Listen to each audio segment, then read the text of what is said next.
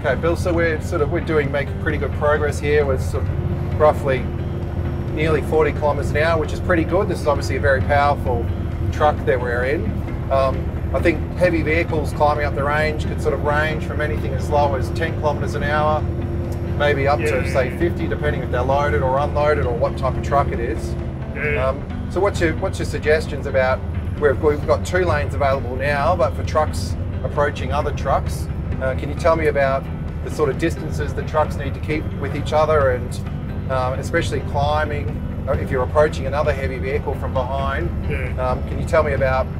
Um, you know, should you be overtaking, or should you really slow down a little bit before them, or what's your recommendations at the gap? Well, should you say that just now we have a slow vehicle ahead, so Okay. you know, yes, I could go out the right hand lane and overtake him if I was in a hurry, but I'm not in a hurry today, so I'm actually going to slow it down. So I'm just going to come down one more gear.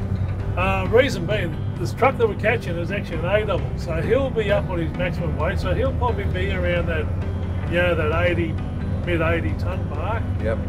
Um, So that's a Kenworth as well. oh no, it's a B double. Yeah, no, okay, so he'd be around about that. He might be up on his 68 ton mark.